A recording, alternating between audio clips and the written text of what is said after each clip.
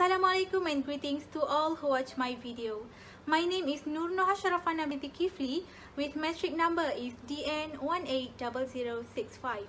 My main supervisor is Technologist Dr. Nurhani Hayati binti Hairum and my co-supervisor is Technologist Zarisi bin Awang.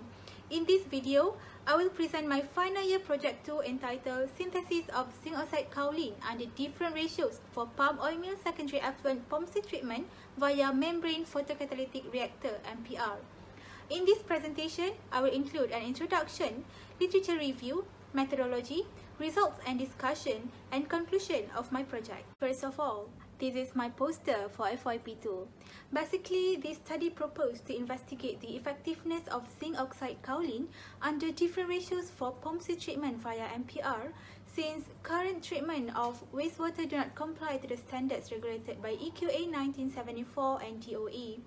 Thus, this study aims to synthesize different ratios of zinc oxide kaolin 1,3, 1,4 and 1,5 via precipitation method and characterize via FTIR as well as analyze zinc oxide kaolin performance in treating POMC via MPR and elucidate the membrane fouling mechanism using theory of blocking filtration loss.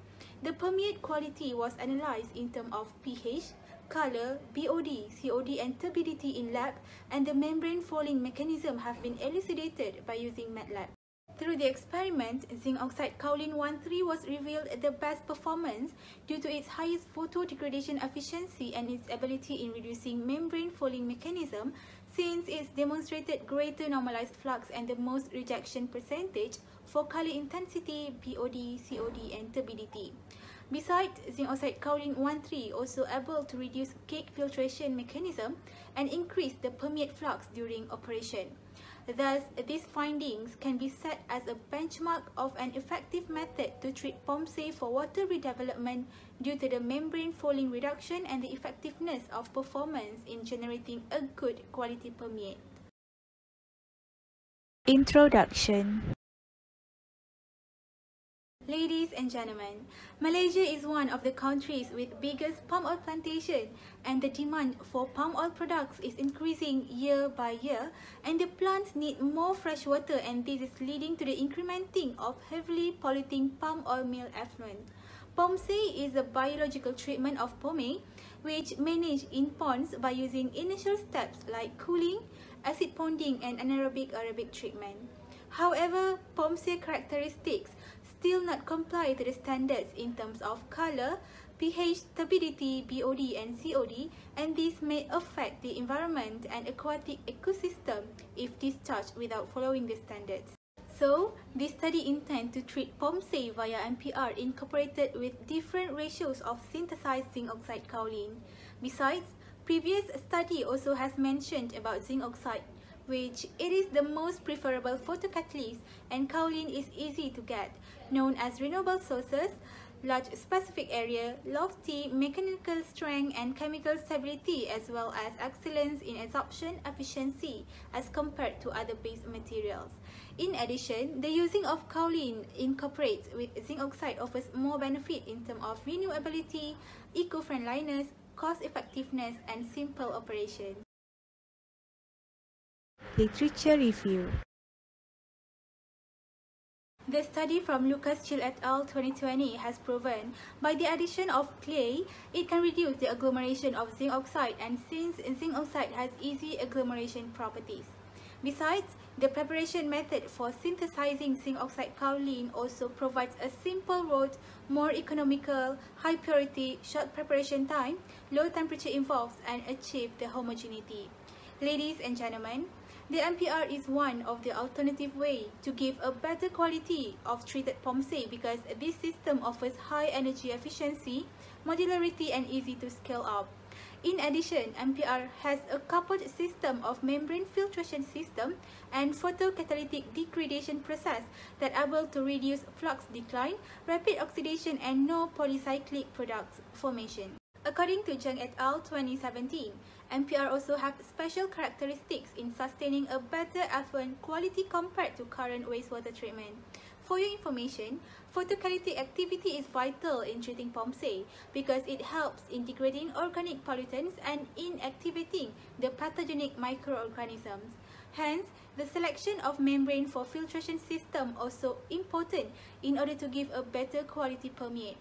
Nanofiltration NF-PPA membrane was used during experimental due to its smallest port size that gave greater efficiency in color removal, remove low molecular weight and soluble pollutant, and low tendency in membrane fouling.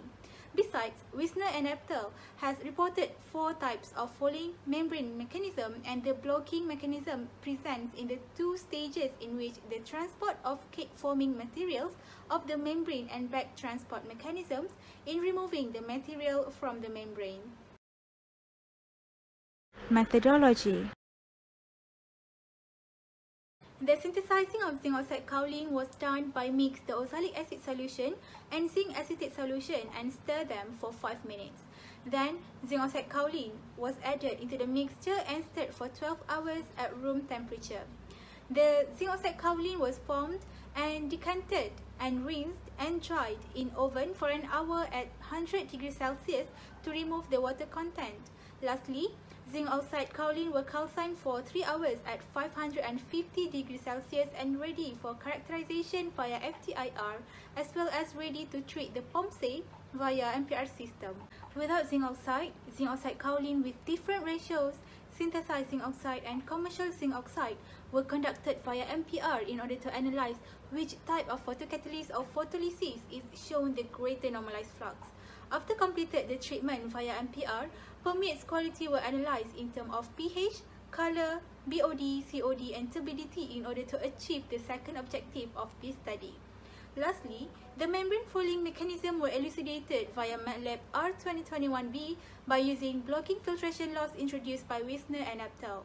The value of model fitness degree and fitting parameter constant were recorded for further discuss. Results and discussion. Ladies and gentlemen, in the obtained FTIR data, we found the functional group of silicon oxygen stretching, silicon oxygen, titanium oxygen silicon, silicon oxygen aluminium, amine group, zinc oxide, um, alkene group and hydroxyl group for kaolin. Besides, zinc oxide kaolin has existed another new bands in the spectrum due to the zinc oxide embedded on the kaolin. However, the band of zinc oxide were not clearly visible in zinc oxide kaolin due to the highest amount of kaolin than zinc oxide. In order to recognize which type of photocatalyst is better during POMSE treatment via MPR, normalized flux has been calculated and its resulted zinc oxide kaolin 1,3 is the best performance since the normalized was 0.1137 which was the highest than others. During water quality test, the pH of POMSE before and after treatment were constant and it can be deduced that the pH condition does not affect during POMSE treatment under different ratios of zinc oxide kaolin via MPR. On the other hand, the results of water quality analysis has revealed that all of the results for oxide kaolin 1,3 permeate compliant to the future standard discharge limit of palm oil mill effluent set by DOE 2015. The percentage removal of zinc oxide kaolin 1,3 for BOD and COD were highest than others, even though the removal percentage of color and turbidity for zinc oxide kaolin 1,3 was at second place However, zinc oxide kaolin 1,4 or commercial zinc oxide does not able to beat to the result of normalized flux for zinc oxide kaolin 1,3. According to Sidek et al. 2019, instead of normalized flux, type and pore size of the membrane used also vital to get the grid value of permeate quality since it considered the potential of membrane to remove the organic contaminants and solid particles from POMSE. For membrane fouling mechanism, the photolysis and photocatalyst obtain cake filtration mechanism.